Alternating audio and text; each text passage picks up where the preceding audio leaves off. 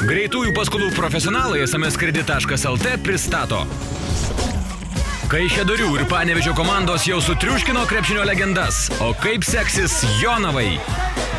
Turnyras 3 už Lietuvą jau greitai ir tavo mieste. Ar jau užregistravai savo komandą naujienų portale delfi.lt? Nesnausk, palaikyk Lietuvos krepšinio rinktinę kovoje už Europos auksą. 3 už Lietuvą. Šiandien be 5-8 tik per TV3.